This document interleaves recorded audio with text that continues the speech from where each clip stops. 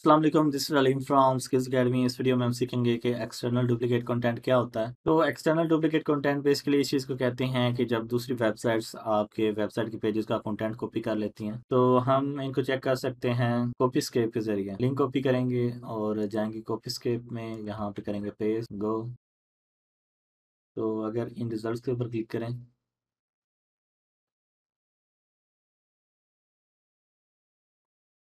तो जो copied content है वो हाईलाइट हो जाएगा। तो आप देख सकते हैं कि इतना ज़्यादा कंटेंट कॉपी किया है इन्होंने।